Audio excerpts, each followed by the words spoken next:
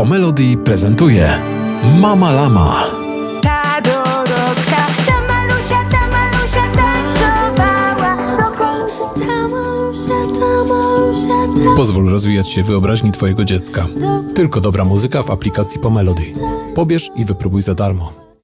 Jak nie będę wiedziała, tak, że potrzebuję czasu na zastanowienie, tak będę udawać, że piję kawę. Nie? Dobra, dobrze, to mamy wszystko ustalone. Jeżeli ktoś jest polonistą i słucha niektórych rodziców, native'ów języka polskiego, no to właściwie powinien zabronić używać tego Upomnieć języka, ich. no bo y, nie są idealnym wzorcem językowym. Nie ma takiego z- ym, ustandaryzowanego poziomu języka obcego, który uprawnia cię do tego, żeby wprowadzać dwujęzyczność w domu. Co jest ważne, żeby e, rodzic nie został zastąpiony przez ten ekran. No to, to jest gdzieś tam komplementarne. Ja wierzę w wasz zdrowy rozsądek i, i uwalniam was do tego, żeby mówić w jednym języku albo w trzech językach. Czy dwujęzyczność szkodzi? Część druga.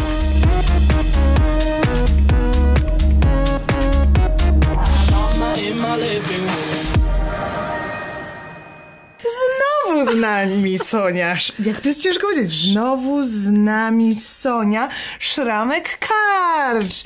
E, Dlaczego? Dlatego, że rozmawiamy mm, znowu o dwujęzyczności i znowu potrzebujemy eksperta. Bo pytania będą techniczne, pytania będą konkretne i potrzebujemy kogoś, kto się na tym zna. Więc mamy u nas doktor Sonię z Languages and Emotions. Tak, languages and emotions. Tak, tak ładnie powiedziałam właśnie.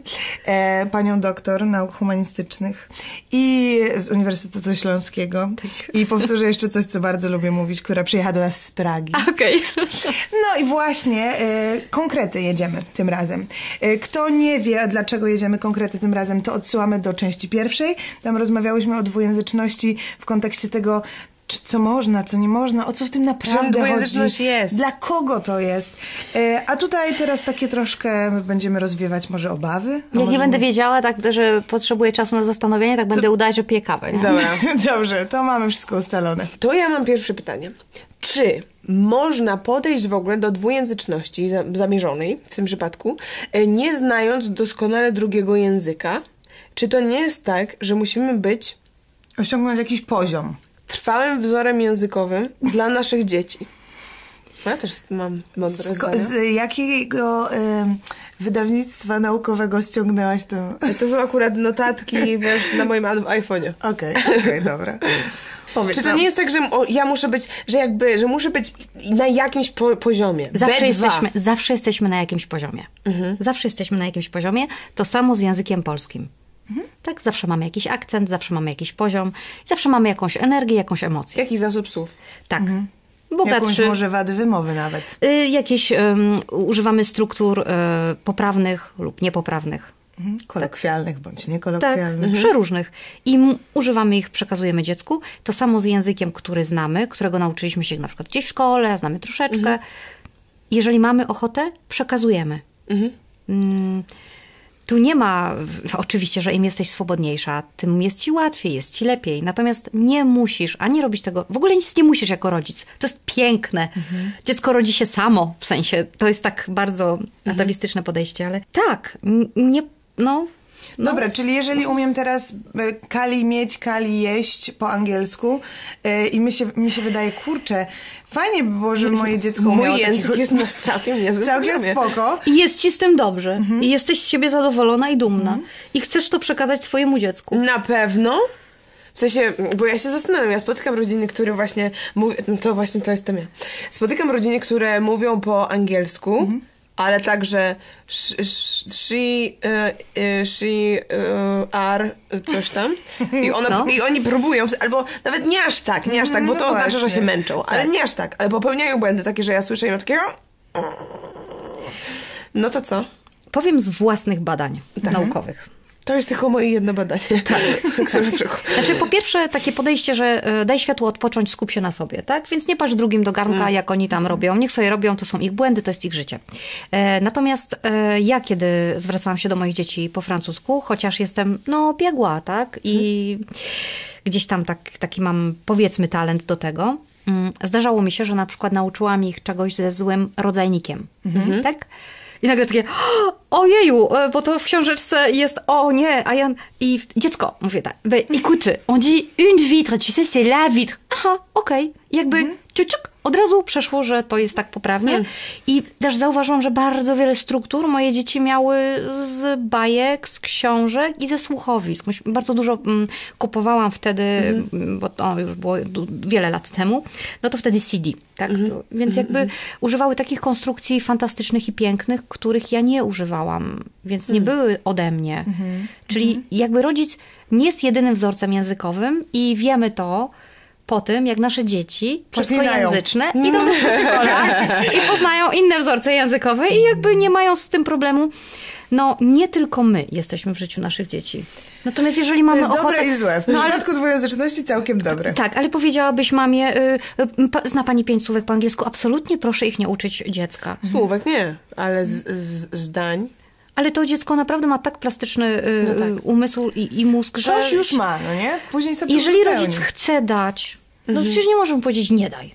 No, no, no, ale mogłabym to porównać do tego, że na przykład rodzic chce dać No. e, słodycze swoim dzieciom, bo to sprawia jemu i im bardzo wielką e, przyjemność. tak. I daje te sło- słodycze Tak. dużo. No ale ty dajesz swoim dzieciom słodycze?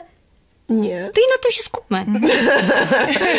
Jakby y, powiedz, Ile siebie będzie, żeby niebie. powiedz rodzicom, no słuchajcie, słuchajcie, no te słodycze to niekoniecznie, tak, bo tu, tu są badania naukowe na to, no, ale ten rodzic i tak zrobi jak uważa, jak chce i to jest piękne, że tak naprawdę ty decydujesz o wychowaniu twojego dziecka. I teraz co my zalecamy? To, co wyszło z tych badań, taka strategia serca, ja to nazywam. Rób tak, żeby twoje serce rozkwitało, kiedy, bo to dziecko czuje. Przecież my wchodzimy do domu i ono widzi, w jakim my jesteśmy humorze i w jakim jesteśmy nastroju. I nie trzeba w ogóle języka używać. Tak? Więc to jest, ta, to jest ta relacja, którą nawiązujemy, kiedy jesteśmy w zgodzie ze sobą i z taką szczerą intencją do tego dziecka. Czyli podsumowując, e, jakby Ja to, bym to jest podsumowała- to co, to, co Sonia mówi, że serce się liczy. Tak. I ja bym też zwróciła uwagę na to, że w takim razie nie ma takiego z, ym, ustandaryzowanego poziomu języka obcego, który uprawnia cię do tego, żeby wprowadzać dwujęzyczność w domu. W sensie, żeby go wprowadzać, Że nie- żeby się nim podzielić. Na szczęście rodzicu i tak będziesz robić jak chcesz.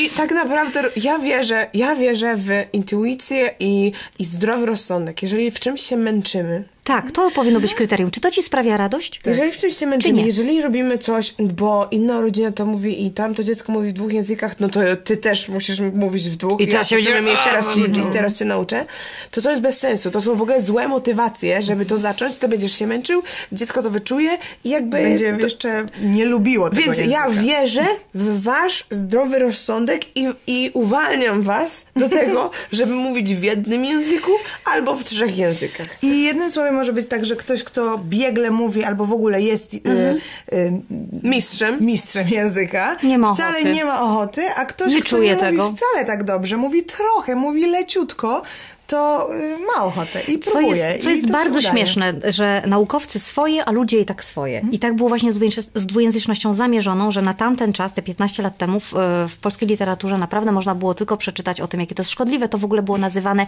sztuczną dwujęzycznością, więc kiedy ja wprowadziłam badania pod non-native bilingualism, czyli nienatywna dwujęzyczność, to już był taki mój ukłon w stronę, no, że nie sztuczna, no bez przesady, bo to już jest nacechowane. obrażasz. Po czym e, profesor Dewale powiedział, Sonia, napisałem artykuł e, dla ciebie, nie możemy mówić o kimś, że jest nienatywnie dwujęzyczny, bo to tak, e, profesor to opisuje w swoim artykule, jakby mówić o niebieskookim, że on jest nie brązowooki, czyli przez nieposiadanie danej cechy Co jest określać go, tak? Czyli dwujęzyczność intencjonalna, dwujęzyczność zamierzona, bo ty masz zamiar, tak? Czyli intentional bilingualism. Tak teraz ewoluowały te badania i te badania e, mówiły wtedy, tak, w, w Polsce e, bardzo dużo, że to jest szkodliwe, a rodzice i tak stosowali. Co jest odpowiedzią na to, że jakby mm, jest coś takiego jak dwujęzyczność e, będąc w jednej kulturze tylko. Czyli, Tak. e, czyli jakby, że Rodzina mówi- tak, monolingwalna, tak. y, kraj monolingwalny i monokulturowy, a dzieci dwujęzyczne. Mhm, Według y, y, definicji profesora François Gorzą, czyli y, komunikujące się swobodnie w więcej Mhm. niż jednym języku y, dialekcie. Czyli ja bym jeszcze zwróciła uwagę tutaj na jeden fakt, jeżeli taka jest definicja, to znaczy, że my możemy też, mamy taką wolność jako rodzice, żeby dzielić się naszymi dziesięcioma słówkami w języku niemieckim z naszym dzieckiem i nazywać kolory po polsku, po angielsku i po niemiecku, ale to wcale nie znaczy, że dzieci będą biegłe w tym języku na ten moment i na ten moment nie muszą być dwu czy tam trzyjęzyczne, po prostu znają dziesięć słówek po niemiecku, w angielskim są komunikatywne, więc są y, i po polskim też, więc są dwujęzyczne. Zasada jest taka, jeżeli chcesz czegoś nauczyć swoje dziecko, to je uczysz. Mhm. Może się okazać, tak jak było z moimi nartami, że ja też stwierdziłam, że ja nauczę moje dzieci jeździć na nartach, Mhm. po czym wyszliśmy na stok i one zaczęły zjeżdżać. W ogóle ja nie potrafiłam ich tego nauczyć. Mhm. Chociaż chciałam i ja potrafiłam, tak? Czy tam potrafię. Mm. No i trzeba było wziąć instruktora, tak? I, no, więc jakby czasem my czegoś chcemy, a nam nie wyjdzie. Życie też weryfikuje, więc jakby luz. E, dobra, to teraz tak. Czy mm, y, uczenie, jakby wprowadzanie drugiego języka tak wcześnie na przykład, jak, y, y, jak my, nie zrobi y, y, tożsamościowej sieczki? Czyli Ale- czy, czy nie będzie, to, czy nie spowoduje to, że te dzieci nie potrafią się odnaleźć i nie czują się ani na przykład Polakami, Polakami, ani ani Amerykanina- Amerykanina, o, albo jeszcze, że kiedy wy, szczególnie kiedy rodzina wyjeżdża za granicę e, i tam uczymy ich po angielsku, e, po, a po polsku tak, albo wstydzimy się naszej polskości i wtedy nie mówimy do nich po polsku i one mówią tylko po angielsku i wtedy one nie wiedzą, kim one są i to wtedy... To są chyba dwie różne rzeczy. To Najpierw skupmy się na tym, że w Polsce, Hmm. W Polsce. a potem za granicą może. Tak. E, dzieci mają swoją tożsamość, bo są dziećmi konkretnych rodziców. Tak? No i to dziecko, idąc do piaskownicy, bawi się z innymi dziećmi. Tak? No i ja jakby. Może jestem zbyt już tam kosmopolitycznie e, nastawiona, i, no ale jakby. Ale że w czym, że to dziecko będzie myślało, że jest francuską na przykład? No, że szczerze powiedziawszy, że się będzie czuło nie do końca Polakiem i nie do końca Anglikiem. A co to znaczy być, czuć się? Ono będzie się czuło tam, gdzie wzrasta, tam jest jego środowisko, tak? I tak idzie do polskiej szkoły. Kiedyś moje dziecko powiedziało, est-ce que je suis, je suis française? Jestem Mhm. francuską. Ja mówię, nie, nie, nie, nie jesteś francuską, jesteś Polką, do której ja mówię po francusku. I tyle problemu też tożsamościowego Mhm. Koniec. zostało rozwiązane. właśnie, No właśnie, i to tak to też widzę, ale chodzi o to, że, że może się urodzić w dziecku pytanie, mamo, ja mówię po angielsku do chłopczyka z piaskownicy i do koleżanki z piaskownicy i oni mi nie odpowiadają, a po polsku mi odpowiadają. Dlaczego? Nasz, Aczkolwiek to jest robienie Oni z to dzieci sami, debili, tak, No dzieci to wiedzą. To wiedzą. To mu powiesz, wiesz co, dziecko, ja do ciebie mówię po angielsku, y, w sensie I do speak English to you, tak? Bo chcę tam, bo żebyś się Żebyś się nauczyło, nauczyła żebyś miał lżej, bo to Bo też ludzie zależy... rozmawiają różnymi językami. Tak, od motywacji rodziców. Moja motywacja akurat była bardzo prosta, to znaczy ja tyle lat uczyłam się francuskiego i tyle mnie to zdrowie kosztowało, że stwierdziłam, oprócz tego, że znałam te dzieci już, tak, że po prostu będą miały łatwiej. No, daję im coś, Ja co umiem, a co z tym zrobią, czy... To jest jakby poza sprawa. tym, więc no, więc tyle tożsamości. Ja w ogóle się nie To za bardzo uto, y, nie utożsamiam z pytaniami, nawet ciężko mi je zrozumieć, gdzie ktoś się martwi o poziom polskości w Mhm. języku albo w tożsamości, bo jesteśmy w Polsce, więc ciężko jest Mhm. wyprzeć się tego, bo musiałybyśmy chyba nie wypuścić dziecka z pokoju i cały czas mówić po angielsku. No dobrze, tylko. to teraz sytuacja z, y, z byciem za granicą. Zależy za którą granicą i gdzie jesteśmy. Są Mhm. kraje, które mentalnie są dość oddalone od nas i wbrew pozorom Brytyjczycy no, są na przykład dalecy mojemu temperamentowi. Tak? To się No, zgadza, no, tak? tak. To się zgadza, nie muszę Mojemu uzasadniać, rozumiem. I na przykład y, to zależy w jakim kraju, jak się czujesz i jakie są je- twoje motywacje też, żeby wyjechać, jak bardzo chcesz się zasymilować, Mhm. Ym, w której części Londynu mieszkasz, przecież to też ma wpływ, tak? No ja bym, y, dobra, to ja powiem tylko ze swojej, ze swojej perspektywy tego, jakbym była babcią, y, która nie umie mówić na przykład po niemiecku, a moje dzieci wyjechały z moimi wnukami do Niemiec i mówią tylko tylko po niemiecku i wtedy ja nie jestem w stanie się z nimi porozumieć, no to... Ale to już nie jest dwujęzyczne, tylko oni zrobili jednojęzyczne. To jest ta Tak, dwujęzyczność gdzie- Tak, ale, ale w ich, w jakby, w, nie wiem co, uczyli tylko niemieckiego i są w No Niemczech. ale to nie mogłeś mówią tylko- wcześniej twoim dzieciom, babciu powiedzieć, żeby jednak ja nie wiem, ale są, takie, No, ale to- są takie przypadki i później ktoś do mnie pisze i z wyrzutem, więc ja mówię, myślcie też o dziadkach, żeby te wasze wnuki się dogadały z waszymi rodzicami. No, więc to już są kwestie relacji. Czy my mamy to załatwione już? Dobrze. Kwestia relacji w danej rodzinie. Na ile my mamy te relacje bliskie, na ile o nie dbamy, tak? Na ile tam jest ta miłość taka po prostu. Załatwione. Dobrze. Jedziemy. Y, Kolejny. Bajki nie uczą języka. Prawda czy nie? Więc tak, jako naukowiec, najpierw powiem jako naukowiec, a później powiem jako Sonia, tak? Więc jako naukowiec chciałam podkreślić, że należy ograniczać ekrany, że żaden ekran nie jest od wychowywania dzieci. Em, co jeszcze mam powiedzieć jako naukowiec? Limit, limit, limit. I, y, Jako mama powiem wam, że, że oczywiście z YouTube'a e, Najwięcej się nauczyły moje dzieci francuskiego. Dzieci się uczą i nawet mam takie nagranie, musiałabym gdzieś znaleźć, gdzie, bo też, co jest ważne, żeby e, rodzic nie został zastąpiony przez ten ekran. No to, to jest gdzieś tam komplementarne. Ja pamiętam, jak ja byłam mała, chodziłam do podstawówki i nasza pani z matematyki powtarzała i ona, wtedy był taki trend, że dziennie można dzieciom oglądać telewizję 10 minut dziennie. I wszyscy byli absolutnie o tym przekonani i że tylko tak. A wtedy telewizja wchodziła, wchodziły nowe kolorowe ekrany, wszyscy spędzaliśmy więcej czasu, więc to było takie poruszenie. I tak samo teraz jest z tymi ekranami tutaj mobilnymi. E, mój syn gdzieś tam miał fazę, bo dzieci mają fazy. A co my nie mamy? Też mamy. E, ja mam fazę kawy na przykład od, od kilku lat. E, oglądał sobie wyścigi, e, wyścigi Formuły 1. Ta, Formuła 1. I jakoś tak się stało, że hiszpańskie. I ten komentator tam po hiszpańsku zaiwaniał.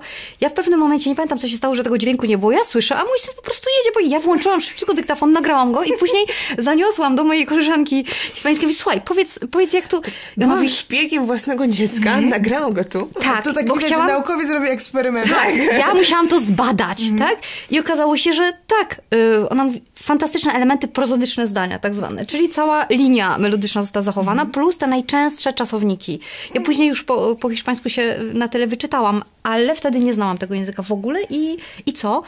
I mówiło... znasz? No tak, porozumiewam się w kilku, nie? Ilu? Ale to... No powiedz, no, to to ja jest się boję, ciekawostka. nie? Ja się boję. Z pięć? No, tak by było. No z pięć, no. W każdym razie, słuchajcie, ale to jest później pro, proszę was. A ty, Ania?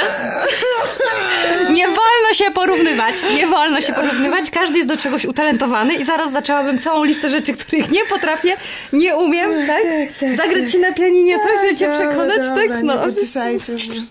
W każdym razie, e, jako naukowiec powiem, że oczywiście trzeba ograniczać i w ogóle ekran nie nauczy, natomiast z doświadczenia wiem, że... Że trochę nauczy. Oczywiście, no nauczy. I że jest też no. takim chyba, mm, przynajmniej z mojej Tylko limit, bo tam nie ma emocji, tak? W sensie takich e, bliskich, e, bliskości Relacji. drugiego człowieka. Więc jeżeli przychodzisz z pracy, jesteś zmęczona i po prostu nie masz ochoty na nic, sobie siądź z tym dzieckiem, przytul się do niego i popatrzcie sobie razem na bajkę. Tylko patrzcie na tę bajkę razem i komentuj, a nie, że tu leci bajka, nie? A ty tutaj przewijasz, nie? Pajsa, bo dziecko czuje, że nie jesteś z nim. Mądre. Bardzo fajne. Bardzo Więc to fajne. i dajmy sobie też luz, jeżeli my będziemy wyluzowane, bo sobie posiedzisz godzinę po prostu i poprzytulać się, sobie tu siedzi, leci ta bajka, nie? A dziecko się cieszy, masz radość, ono czuje twoją bliskość, jesteście razem. Później sobie możecie, idziecie na spacer do lasu i ono opowiadać w tę bajkę, tak? Czyli masz znowu nawiąz... To tak, nie spinajmy się, bo ta, ta, ta spina rodzica, tak? Bo teraz pięć minut za długo ekran, jest, jest, moje dziecko oglądało YouTube, a nie, niemożliwe, to w ogóle... No to, to, to napięcie rodzica czuje dziecko.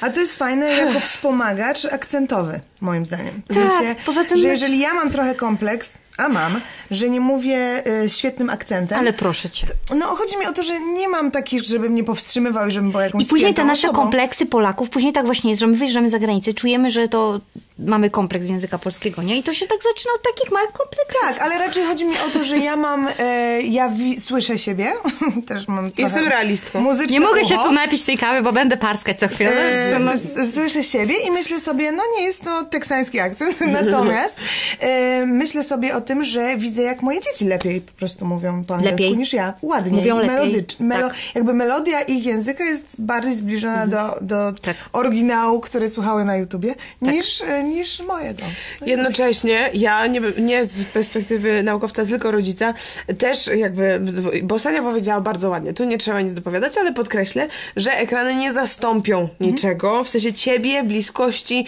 i relacji i rozmowy i tak dalej, i tak dalej. Czyli Więc sytuacja, gdzie tylko dajemy ekran, też nie za bardzo da, mm, są takie sensowna. przypadki. Ja znam takiego dorosłego człowieka, który się nauczył tylko i wyłącznie z bajek jego rodzice zero, a on tylko z ekranu, ale on też jest dziwny socjalnie.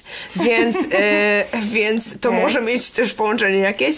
E, I są, jest bardzo dużo artykułów na ten temat, więc i o wpływie ekranów na dziecko. Dlatego słuchowiska są fantastycznym rozwiązaniem, bo dziecko, y, zostawimy je w kąciku, ono tam te klocki sobie układa, A tutaj włączamy y, słuchowisko, jakąś bajeczkę nagraną, tak? Jest mnóstwo teraz tego y, i ono sobie słucha, jest tam w tej przestrzeni, no. Ja właśnie, ja, ja, ja, miałam taki, ja miałam taki pomysł. Kiedyś- Kiedyś Ani mówiłam, co ja bym, gdybyśmy założyły ten sklep i byśmy robiły różne rzeczy, e, to ja bym chciała chyba nagrać e, bajki. Chciała, na, ja, że, mu, że na przykład po angielsku, albo też, albo po polsku, ale e, raz wrzuciłam na Instagrama mojego tatę, który czyta po polsku bajkę i tam skomentowali, wow, jaki super głos, jakbym chciała, żeby czytał bajki i tak sobie myślę, kurczę, gdybyśmy nagrali taką serię. I ja chciałam jeszcze dopowiedzieć, skoro to jest czas na autopromocję, że na aplikacji po Melody są bajki, audio stories po Tak, angielsku. i dlatego zapraszamy Was czytane. też na Languages and Emotions, języki i emocje. Dokładnie Ale tak. wiecie, co się okazało a propos tego, bo jak już się tak autopromujemy, jedziemy, nie? No. Słuchajcie, Jedziemy, jedziemy. Jest flow, jest flow. Badania naukowe pokazują, stan flow pozwala Ci osiągnąć naprawdę fantastyczne rezultaty. Kupicie sobie wszystko. Naukowcy wszystko już zbadali, czasem mam Wszystko. wrażenie. Amerykańscy szczególnie. I na przykład ja Tylko zaczęłam z nagrywać... jajkiem się plączą, czy ten cholesterol, coś. A, Mów dalej. no, ale masz dwa rodzaje cholesterolu. Tak? To, to wiem, ja już słyszałam, ja już słyszałam. W każdym razie ja zaczęłam nagrywać takie MP3, bo ludzie, a daj nam coś do tego kursu, no to są jakieś extra mile, coś trzeba dodać, no dobra, to nagram wam MP3. I okazuje się, że kiedy mnie tylko słyszą, to jeszcze inaczej odbierają, czyli to słuchowisko, to, że tylko słyszysz głos, jest dodatkowym doznaniem, nie rozpraszasz się na wizję. Tak. Oczywiście, Więc no tu- nie no, oczywiście, przecież bodziec tam- wzrokowy jest silniejszy niż słuchowy, więc... Więc y, słuchowiska w stronę dzieci, właśnie tak. dwujęzyczność zamierzona, mniej ekranu, więcej słuchowisk. Tak, jak najbardziej. To ja Absolutnie. jeszcze z muzycznego poletka powiem, że, że nawet e, takie w, w sztuce współczesnej i muzyce współczesnej się robi takie performatywne równe, różne działania, żeby wyciszać albo znaczy wygaszać światło, albo w ogóle, żebyśmy nawet nie, patrzy, nie patrzyli na muzyków, bo to jak oni grają bardziej nas często pochłania niż co grają. Tak, bo jest to przebodźcowanie, Bo to jest jakby percepcja wzrokowa tak bardzo dominuje nad tą słuchową. Tak, tak. A, to widzisz, dlatego te MP3. Czy mamy jakieś jeszcze pytania? Ja chciałam powiedzieć, że całkiem mi teraz mądrze poszło. No bardzo dobrze. I się nie czuję już taka. Dziękuję. Dalej. E, ja nie powiedziałam nic mądrego, No i tak się następna. nie czuję I gorsza, co ja więc teraz muszę- easy. Dajcie nam znać, czy macie jeszcze jakieś pytania. Nie odpowiemy na nie w następnym odcinku, bo Sonia musi wracać i nie wiadomo, kiedy do nas wróci. E, więc, mm, ale pytania Może możecie jej zadać. pytajcie. Jak macie Albo pytania, to jej pytajcie. tak. Languages and emotions. I pociągniemy temat. Dziękuję wam bardzo. Bardzo dziękujemy, że u nas byłaś. Dziękuję za że się zaproszenie, do naprawdę. nas. No. E, i, e, I co? Lajki, subskrypcje, komentarze, languages and emotions. Tak, tam Tak, damy, wszyscy tak- po prostu rozwincie i tam będzie, Tak, tam całe skarby. linków. Klikajcie sobie co chcecie, e, a my uciekamy. Pa! Pa.